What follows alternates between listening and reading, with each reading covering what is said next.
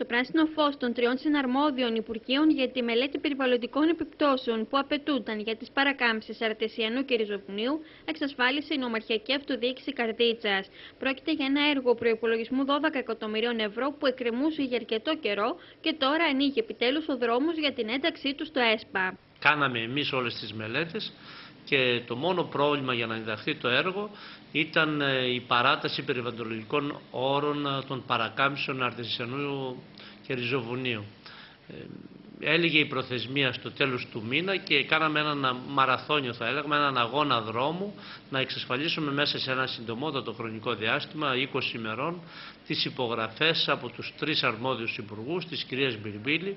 του κυρίου Ρέπα και της κυρίας Μπατζελή, που είναι συναρμόδιοι υπουργοί, ε, μετά από πάρα πολλή προσπάθεια και κόπο και,